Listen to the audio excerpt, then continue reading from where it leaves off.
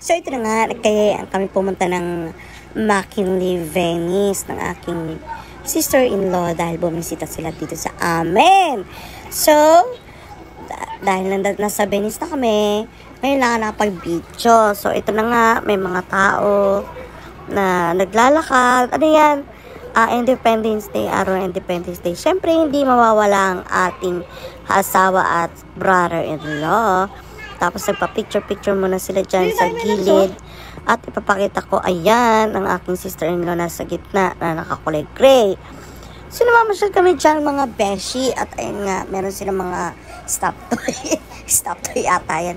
Hindi ko alam mga beshi, pero yan, gumagalaw po na tao yan.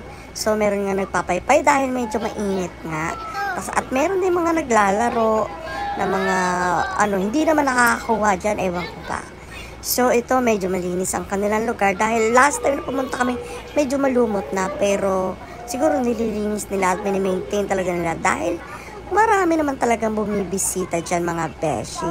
So, lakad-lakad lang kami, naghahanap kami ng pwedeng makakainan, mapapasyalan at may ikutan. At nakikita ko yung ke- cotton candy mga beshi.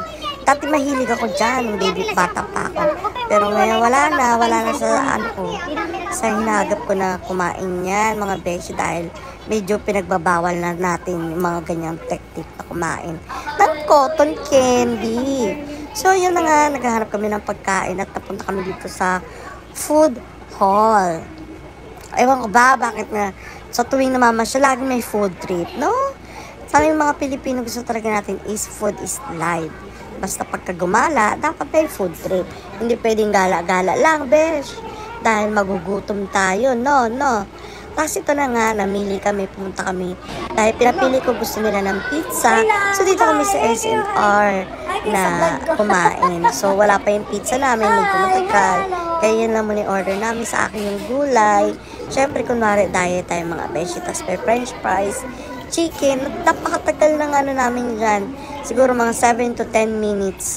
Ay, hindi lang. 15 minutes kami naghintay ng pizza. So, at last, ayan na. Dumating na siya mga beshi. So, ayun na nga yung brother-in-law ko na inaalagaan ng kanyang kuya, at ang aking pamangkin, ah, anak ng, anak ng sister-in-law ko.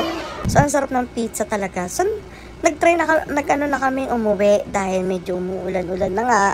At sa Quezon City pa umuwi ang aking sister-in-law. So, yun na nga mga beshi. Pero napadpad pa kami sa Uptown. Dahil ang asawa ko ay bumili pa ng...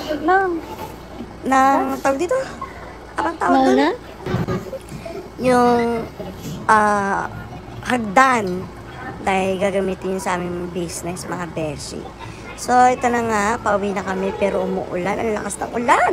Hindi kumukuha ng, hindi kumukuha yung grab.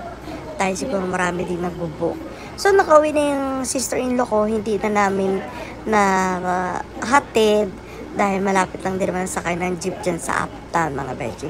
So, goodbye na mga beshi. Ito lang, this is my first time to vlog with voice over. Salamat sa panunood!